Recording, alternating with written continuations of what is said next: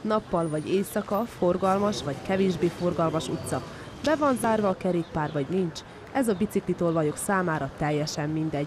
Egy-egy kétkerekű eltulajdonítása nem tart néhány percnél tovább, ha többen vannak és jól összedolgoznak. Ő áll a bicikli mellett, amelyiket gondolja, hogy el akarja lopni, az a második még figyeli, hogy jön-e valaki, az egy, az egy perc, hogy ő azt elvágja, és hogy mondjam, hiába van nép, mindenki siet ugye a saját munkájával, nem figyel most arra, hogy most valaki lop egy biciklit vagy nem, mert az nem annyira feltűnő. A tolvajok már attól sem riadnak vissza, hogy kerékpárboltból lopjanak. Fényes nappal vittek el egy biciklit ennek a hölgynek a boltjából, de hiába jelentették be az esetet.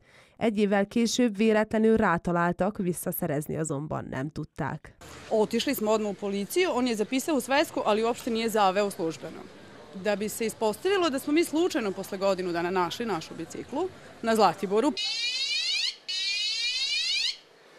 A különböző zárak mellett az elektromos biciklikre már riasztókat is felszerelnek, nagyobb biztonságot nyújtva ezzel a kerékpár tulajdonosoknak, de ez korán sem jelenti azt, hogy a tolvajok nem találnak módot eltulajdonításukra, a hagyományos zárak feltörése pedig gyerekjáték számukra.